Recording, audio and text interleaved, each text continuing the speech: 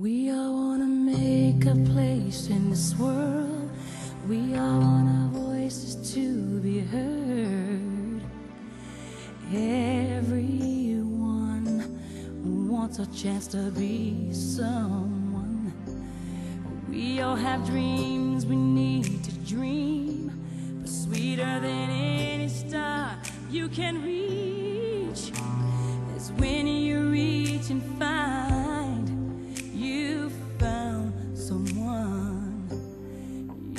You'll hold the USC seniors of 1996.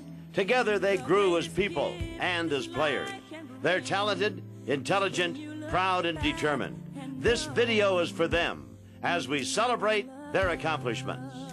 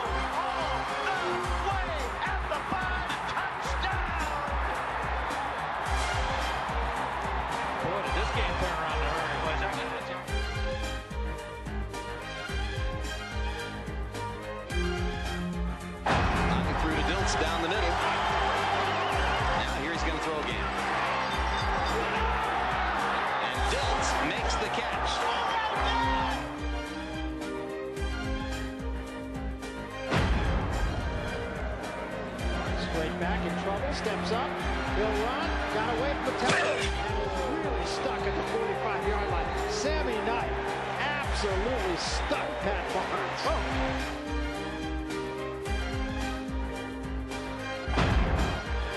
Trojan defense rising up for this one. Number 92, Matt Keneley, got the penetration and got a piece of orchard to take him down.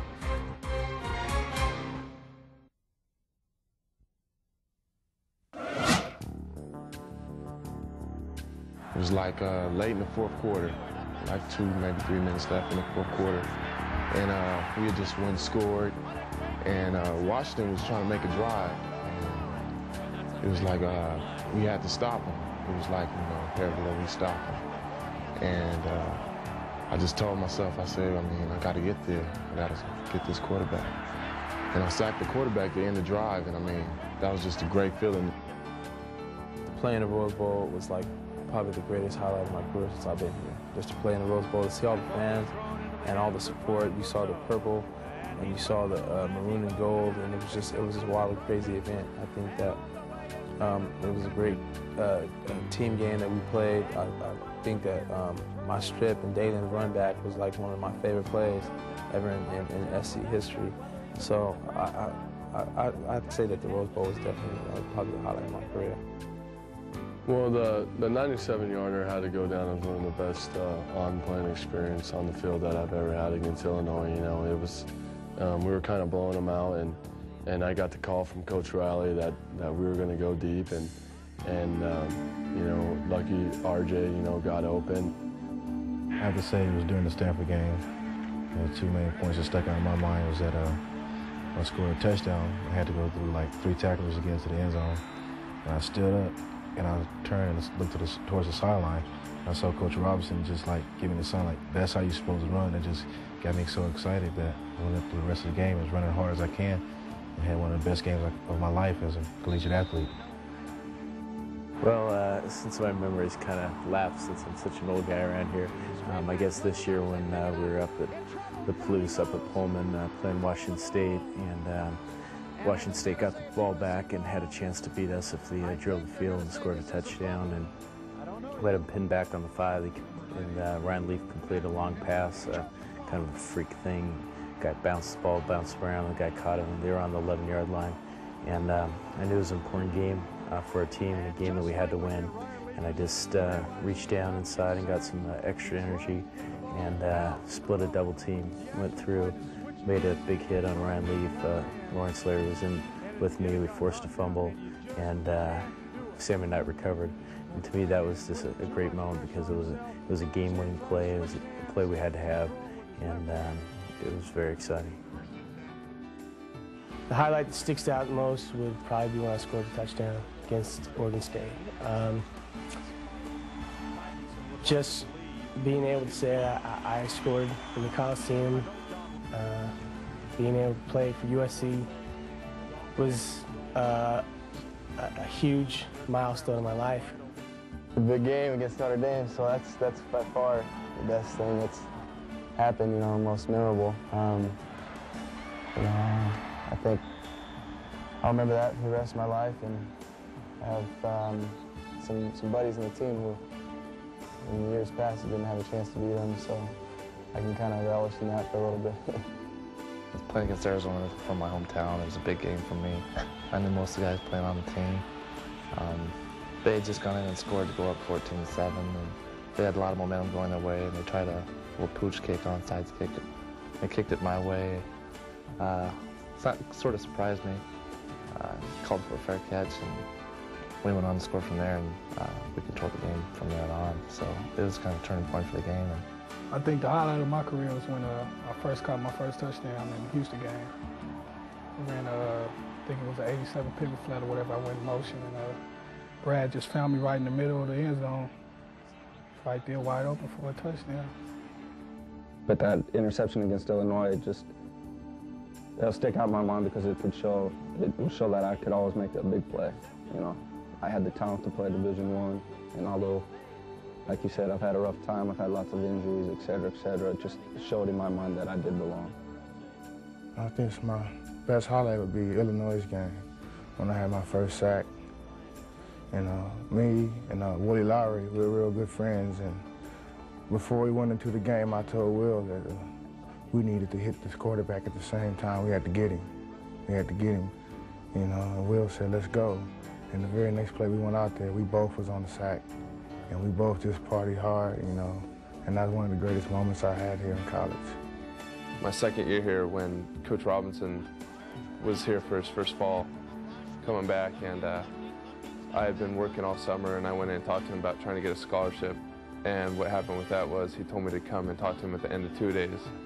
So at the end of two-day NFL camp or whatever, I had to go in and find him, and it, uh, I mean, I was real nervous. I, had, I was rooming with Brad Banta and been talking to like John Allred and stuff a lot about it. They've been helping me through it, but I finally went up and talked to him. And uh, he told me I was going to get a scholarship, but the funny thing was I didn't really say anything to him. I mean, I just kind of took off without saying anything. I was just kind of stunned and everything, and I went back and talked to my parents and talked to Allred, and uh, Allred's like, well, what'd you say? And I kind of sat there and thought about it, and I didn't really say anything. So, I mean, I had to go back about an hour and a half after he gave me the scholarship and find him before he left UC Irvine and go back and thank him because I didn't even say anything. So he was just laughing when I went up to him and finally thanked him for it because I didn't really say anything right when that happened. The one thing that just sticks out in my mind is the Notre Dame game. That really has been the epitome of uh, what what just my years here have been like.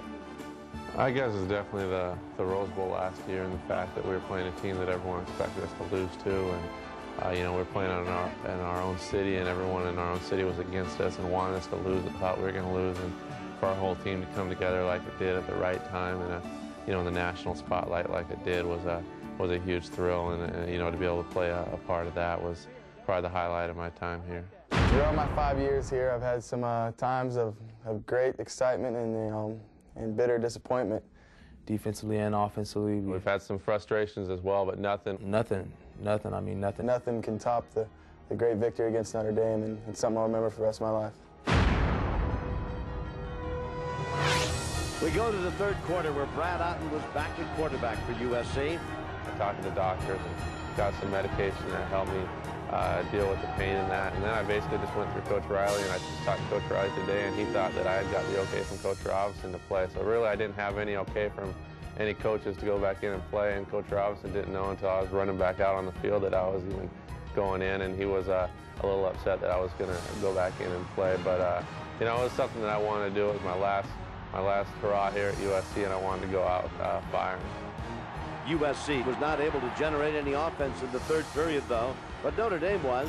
On fourth and eight from the SC 25, Powlus hit Sikaya Champion for 25 yards and a TD to give Notre Dame a 14 6 advantage late in the third period.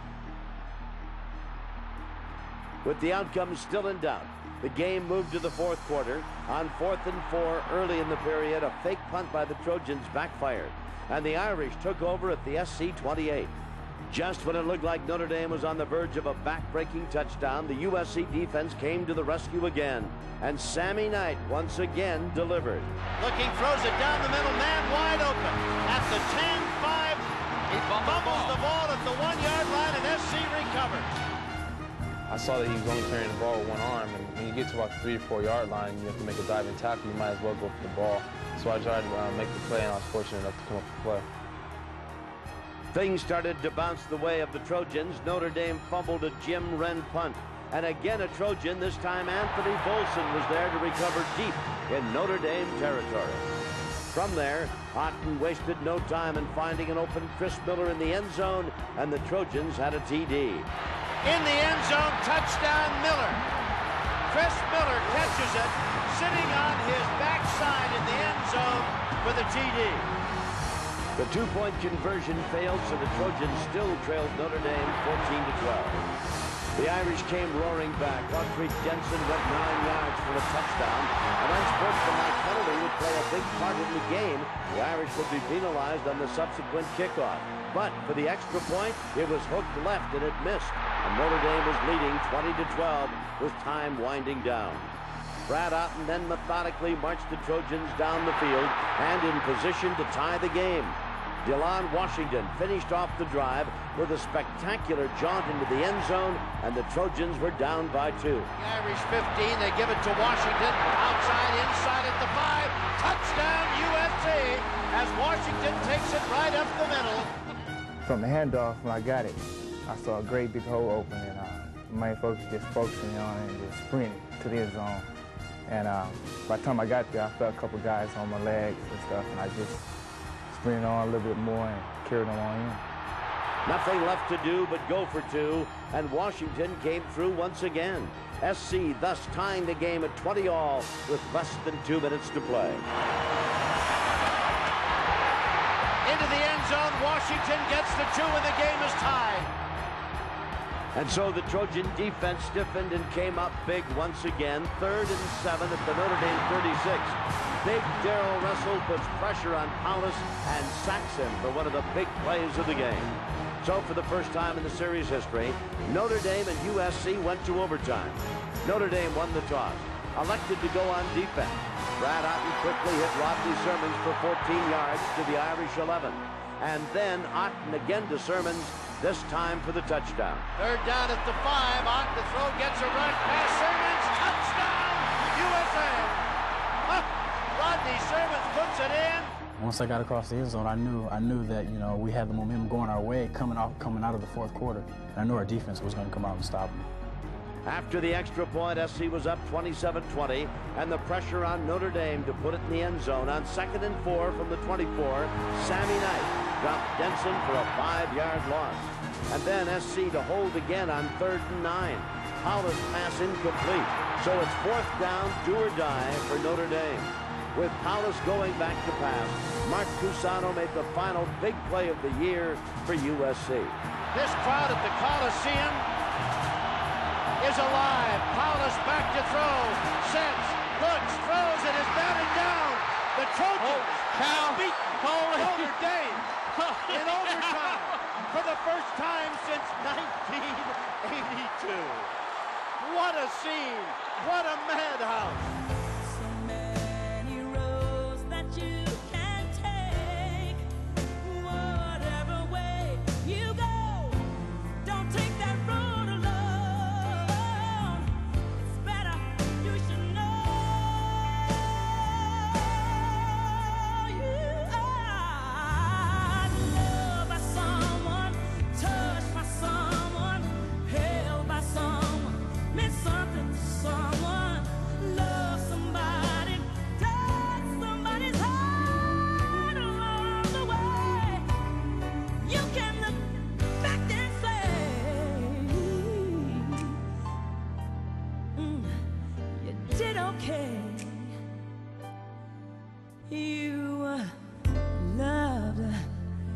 You're loved, you are loved.